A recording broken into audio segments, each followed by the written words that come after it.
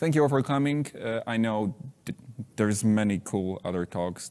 There is like this LLXD just happening. Many people went there, so thank you for being here. Uh, and welcome to my war story project and demo. Uh, well, maybe not demo, but a demo in, in pictures uh, of developing an art frame in Zephyr. So let's start with a small caveat. Uh, the presentation title, like the bio of the presentation, includes Bluetooth, LiPo batteries, and hanging the uh, frame, but it was too chunky. Bluetooth didn't fit uh, with Wi-Fi, and I decided LiPo battery is not, not such a big thing, no point, right? So, and so, and sorry to all wall mounting aficionados here, like no mounting as well. Um, so what is covered? Basically, uh, it follows a fairly standard um, schedule, agenda. So like motivation, some steps. Um, I will introduce a small prototyping framework I designed, uh, a little bit about LED handling, HTTP networking, and more about 3D printing and designing. Uh, some hurdles, some solutions to them, and future work, of course. So who am I and what I'm doing here? Uh, I'm currently working as 5G chip developer. I do firmware uh, for a silicon vendor. Um, I tinker with Rust, Zephyr, game, game engines, and basically embedded Linux. Uh, after hours, I co co-lead um, a startup of mine called Sticky Pistons Studios, and I do some blogging as well. So if you'd like to see some of my um, hard work, then it's there. In my free time, doing sports, so going hiking tomorrow, I think. So yeah. Why do it? Um, mainly, I looked around my house that I, I just thought to myself, like, not enough art, and not enough nice things. Uh, and then I thought, well, I can do some nice things. Like, I can design it, print it, program it, and I did it. Uh, and also, mm, you know, most of you probably know that our job as, well, mostly embedded folks doesn't really, you can't really visibly see it unless you do, I don't know, some LED or, or a nuclear reactor or something. And then you see your work, yeah? Then you don't really, there is no place for, uh, for mistakes. Uh, but with such a small shiny project, you, you can easily prototype and see the effects of your hard work. There is also a cool project, like many cool projects, like the Z ZS keyboard, I think. I might have, uh, I remembered it wrong, or ZS watch, which really inspired me last year in Prague. Uh, great project. If you didn't see it yet, then yeah. So how did I do it? Uh, now is the time for the small framework of mine I devised. So basically I divided it into uh, steps. So step zero is ideation, you find some inspirations on, on the web, go to conferences, talk to people. Uh, in my case, it was a fairly standard project like NeoPixels, uh, and then you should choose the brain of the system. So either it is MCU, I don't know, maybe some PLC, maybe you need real-time requirements, so FPGA or ASIC, your choice. Uh, and once you've chosen it, you should validate it. So the earlier you validate, the sooner you'll get the answer, can I do this project, basically uh, with, for example, Zephyr or some other system. Uh, and I will talk uh, briefly about it in a moment. Um, and start with a prototype. It's like even earlier than prototype. So in my case, it was a cardboard, uh, as you can see on the picture. then uh, software minimum viable product or prototype, I call it. Uh, so basically, you know what you can do. You design some fairly simple uh, software functions or, or, or, pieces, and you basically test them in isolation or together, your choice, on a breadboard or, or, or already using the prototype. Then hardware to put it all together, uh, and that you can travel with it. I mean, I didn't travel with mine because it weighed a lot.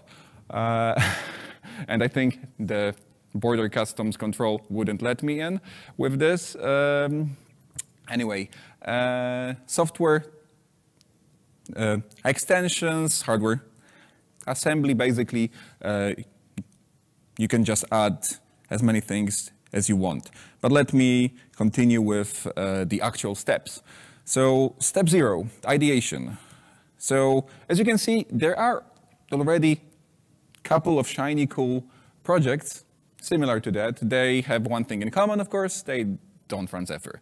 Uh, some of them are based on Raspberry Pi, the other one is using Teensy, uh, and actually the one in the middle is being sold for 200 bucks. So, you know, maybe it's, you could make a buck out of this project, right?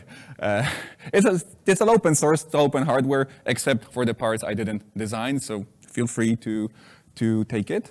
Um, and yeah, so one thing in common, no Zephyr, right? Uh, so when did it all start? Like, and now is the time for choosing my board. And I, last year, I received a sample, uh, this dev kit, ESP32C6, and I was very happy because it, it, it had RISC-V, and RISC-V is basically the cool thing right now, so I wanted to know more about it uh, by, you know, immersing myself in it. Uh, but then it turned out it didn't have any support. So uh, there have, and also there have been some major changes with the hardware model version 2 recently released. So uh, right now it's a mess. Uh, you can contribute if you want. There's, uh, there are links. You can follow this presentation on the web. Um, so yeah, that's a small call for contribution, for participation. Um, so yeah, uh, I settled with good old ESP32, uh, so Xtensa. Uh, as you know, LED connectivity and programming it and flashing worked out of the box, right? It's Zephyr, it just works. With network, I had a little bit more of uh, caveats. I will mention them just in a while. And there is for astute watchers or readers, there is like the battery pack. Uh, uh, do you know where it might lead to? What kind of problem? Well, I will tell you in a moment. So, um, yes, yeah, step one, validation. So it's basically assembling it, uh, cardboard, having a LED strip, cutting it, assembling it, soldering it, and all should be fine, right? Well, it turns out that, like, on the right, you, you have what should be displayed. Maybe this slide is better.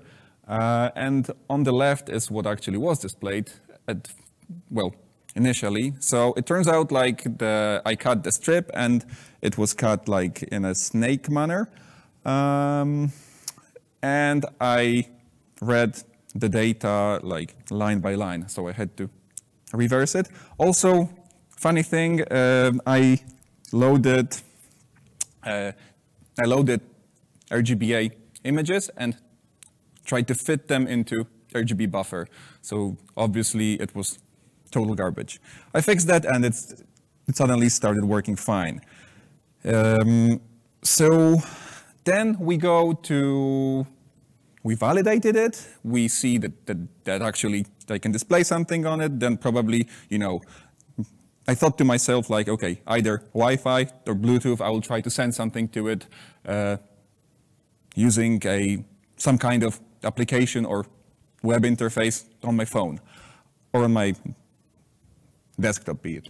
Um, so yeah, this is basically how, how you handle, well, LED handling is just that simple. You just uh, load the, I mean, you put the driver in, uh, you put the device in the device tree, you get the alias from the device tree, you instantiate the, the device, and you check if it's ready, and then you load the data on it, and it works. Very simple. Um, networking is slightly more complex. It's basically uh, like there is the this small flowchart, I would say, of how it uh, all works. So basically, we have a client that uh, asks the server. They need to be connected to the same network, of course. Client asks the server, uh, like, loads the website. Web server serves the website to the client, and then there are a couple of endpoints. I'll show them in a moment that are um, that the client can call uh, the host. And basically, once the image is loaded, so client does an API call to special endpoint, server does parsing of it, finds the magic number, which I added just for simplicity to know when the payload starts, uh, and it raises a semaphore and the image is displayed on the strips. So it's very extensible. I added uh, some other APIs. It's basically that simple. Um, I based it on, on two demos. Basically, it's one demo, but one is single thread and other is multi-threaded. Um, I had to modify some code because it was very, very basic, I would say. Like there was no handling of endpoints, there was no handling of multi-packets and everything. I will, I will think if I will upstream it, I think it might be worth. Uh, I don't know yet, uh, depending on, on, yeah, on, on you guys. Um, so here is how I add endpoints. It's, it's also fairly simple. Uh, and then there's some code. I don't, that won't go basically much into the details, but it's basically just string comparing the method type and, and uh, telling which endpoint we chose. Then we basically do uh, string comparisons of the API routes. And if we don't match any, then we return an error. Here you can see that uh, since it's called multiple times, I needed to know the way if the header has been already read. Um, so I added a static variable, um, which is later being set in, in the bottom part of the picture. Um, so I found the magic number. I can now continue with reading the payload and loading the image data. Um, so yeah, that's pretty simple. Up here, you can see I'm giving the semaphore and the uh, thread that's waiting on it. It's basically um, picking, uh, taking it and, and displaying the contents of the data uh, to, to LED strip, basically. Uh, some tips, because some things weren't really documented well. I didn't find some things. That's like a uh, that's a reminder to myself to put it in the documentation. Basically, uh, I wasn't able to build the HTTP server example without adding this uh, heap mempool region size. Otherwise, it would compare that I was overflowing sections.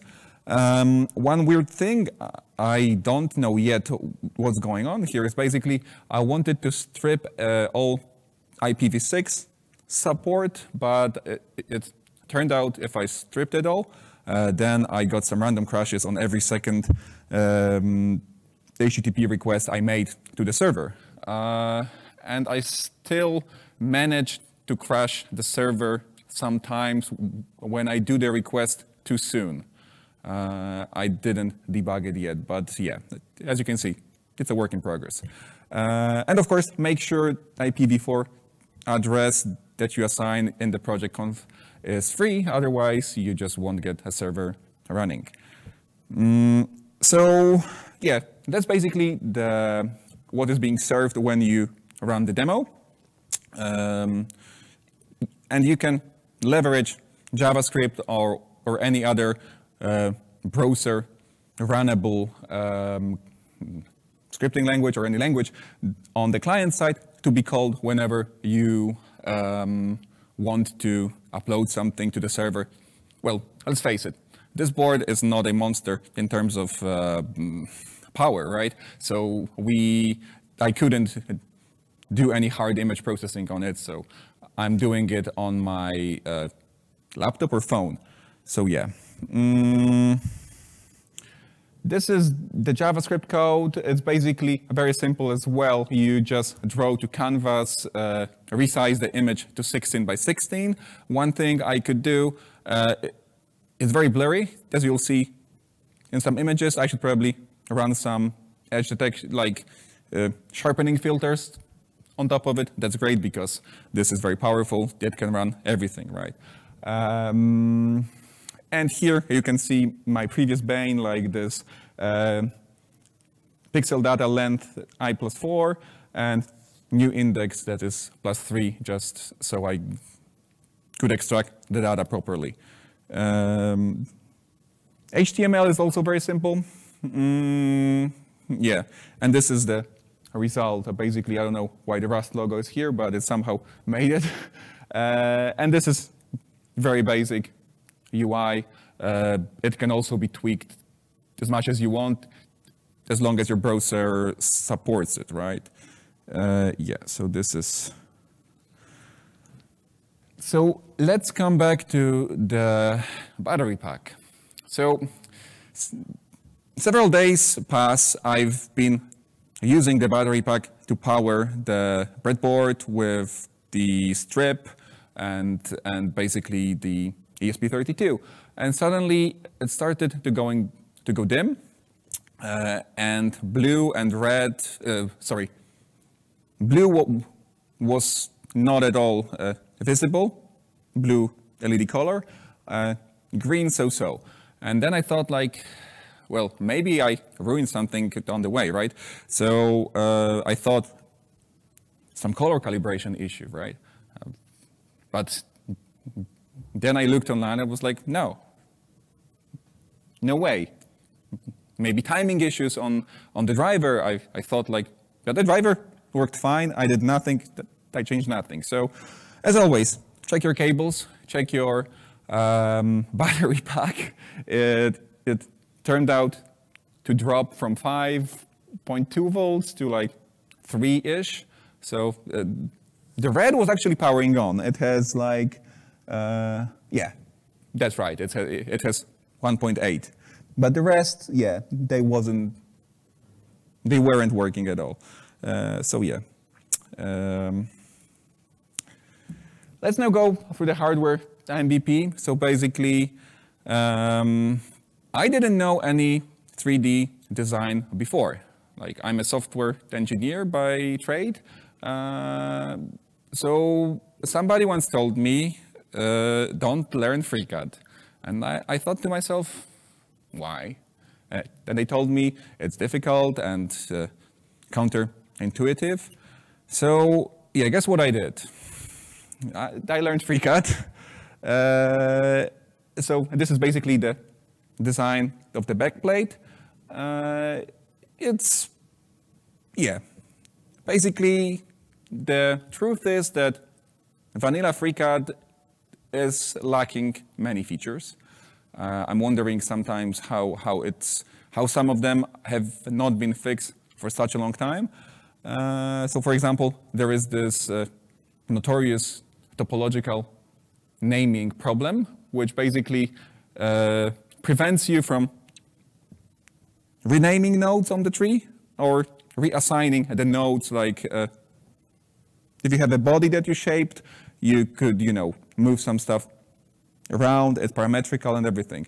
But when you touch something that shouldn't be touched, you get errors like this. So this is the report view window, and it tells you recompute failed. Please check report view.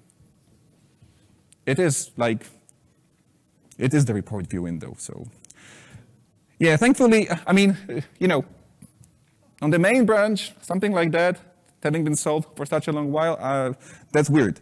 But uh, there is a fork from Real Thunder, uh, and it works around this problem basically uh, very well. It allows for disjoint bodies. That's one of the things that the original uh, repo is lacking. And it has really good errors, so I can really know which vertex is not touching the other vertex or like where's the problem. Uh, so yeah, I recommend it. Um, this project was designed in like DIY spirit in mind, so um, composable and IKEA style hardware. So I printed everything. I then assembled it myself. Um, no screws, no glue, almost. Uh, no, no glue actually in the final prototype. Um, and this is like the bomb um, parts list. Uh, it's all available, available on my GitHub. Most of the stuff you can, yeah, basically everything except 3D printed parts you can buy. And the rest you have to print or do, I don't know, out of wood or metal. Um, so yeah, now let's go to 3D printing. I also didn't 3D print much before. Um, I happen to have a Prusa. Uh, and 3D printing is usually not hard. It's, I, do, I use PETG or PLA, uh, and they should be fairly easy to use, uh, unless the printer starts getting, yeah, not really, it's not doing well. So for example, I got spurious y-axis failures, I checked the belt tightness, I cleaned the bearings, I, and then I found out that Z offset was like ruined. Here's the picture, there is like a blob of something, there's a strip, like a pattern, and then there is some blob. It's, it's basically ruined Z offset. I also happened to um, clog the nozzle. Uh, so that's the part that extrudes stuff. Uh, and I, I had to do the cold pull. So uh, yeah, that's actually how it should look like. That's the, the blob of something, and that's like properly attached first layer. And that's, yeah, I don't know what happened here. That's the cold plug. So basically I, uh, I heated up the, the Allen key, and then I put it into the extruder from above and had to cold pull like the rest of the filament. Sometimes when you fail to do that, for many times you just have to just buy a new nozzle and uh, and that's not really costly, but it's uh, a pain to assemble and disassemble uh, the other way around. So that's the first layer being printed. The printer goes. Um, so some takeaways from 3D printing, uh, if I may. So uh, you will fail a lot. So uh, print small slices as small as possible, uh, preferably full size because uh, it turns out that the print itself takes space. So like when the printer prints, uh, it basically squishes a little bit to left and right. And this was the source, like for example, when you're doing holes or something, uh, you should take that into account and add or subtract like 0. Point, like 2 millimeters from each side, for example. Uh, so yeah, validate your assumptions. I, I happened to burn through entire one kilogram of uh, filament. Uh, and half of it was basically to just make sure that everything clicks and uh, sticks together. Mm, and bridges. Bridges when the 3D printer has to go over a strip of air. So basically there's nothing below it and it just hangs a little bit, but it's fine at the end. So uh, supports from PETG are terrible to remove. Don't, don't bother. Like I, I read, like I, I, I managed to injure myself because I put a support under a bridge, like under a bridge that was like 10 centimeters uh, long. It was a pain. Uh, anyway, the fun part, assembly. So basically, I just went through this to that to like uh, the LED strip snake being there, my keyboard as well. um, and there is the breadboard still. Uh, and on the right, you can see like the clicked, uh, clicked in um, strips. They're visible on the left. And basically, it was really satisfying because they all clicked together and it was like, you know, IKEA feeling. Um, then there is some test pattern being displayed. There is a PSU, which I'll tell, I'll tell you a little bit more in a moment. And there is the, the frame without edges. This is like basically, mm, yeah, just assembly process.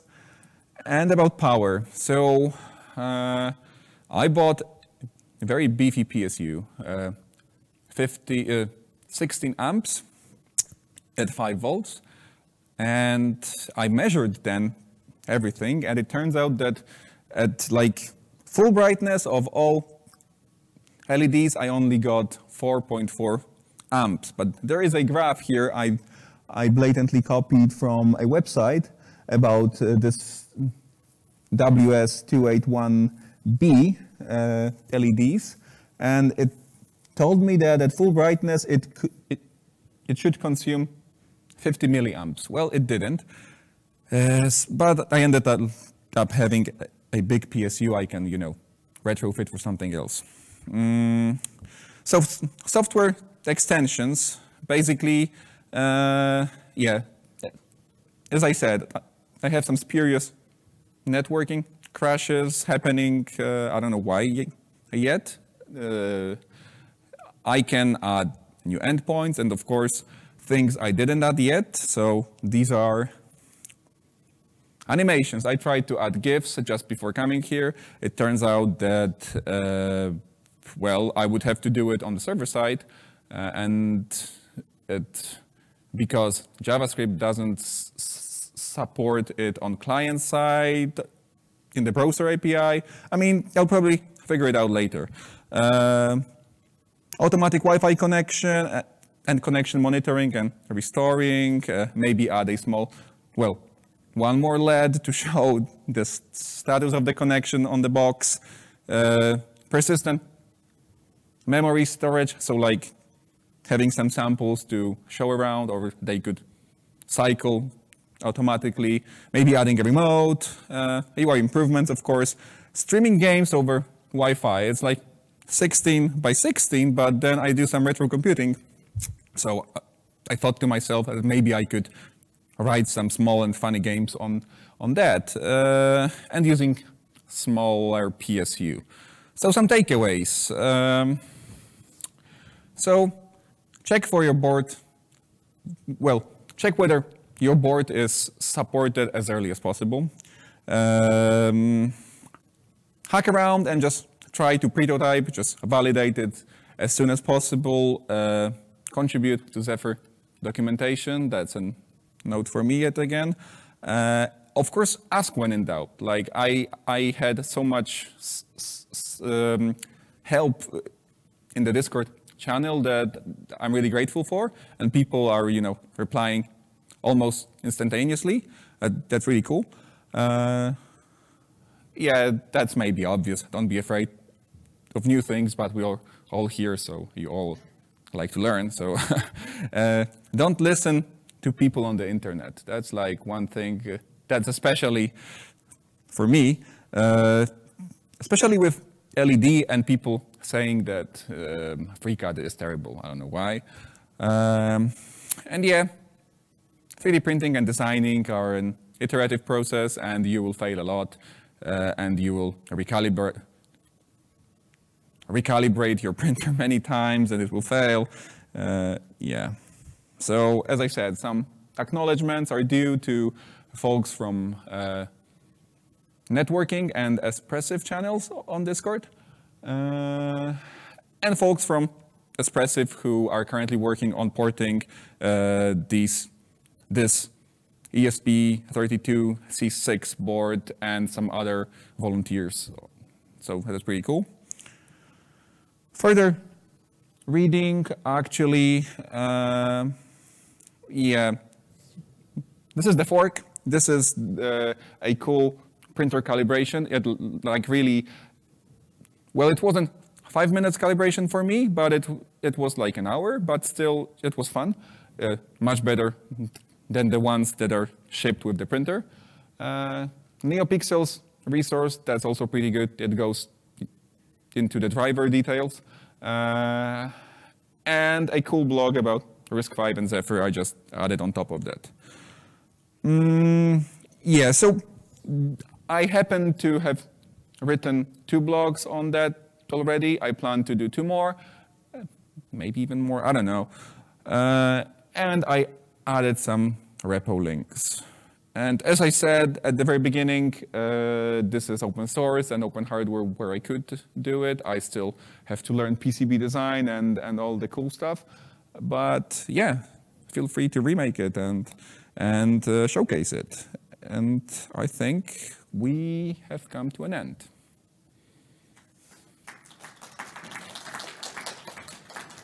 Any questions?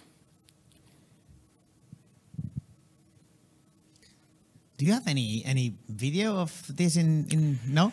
Uh, I happen to have them on my phone. I can show you in a while. Okay.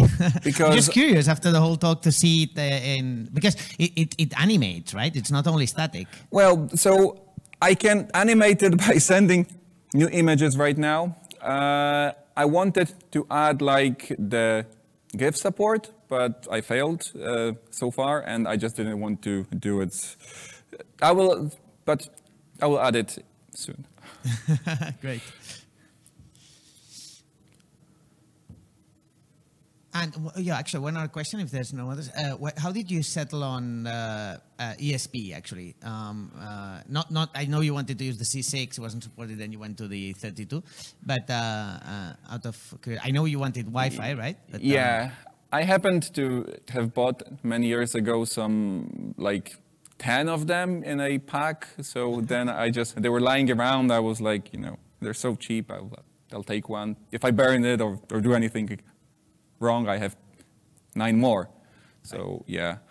Uh, and it's, there is actually a lot of support to, for drivers for the good old uh, ESP32. So, so right. that's why. Yeah, yeah, yeah, for sure.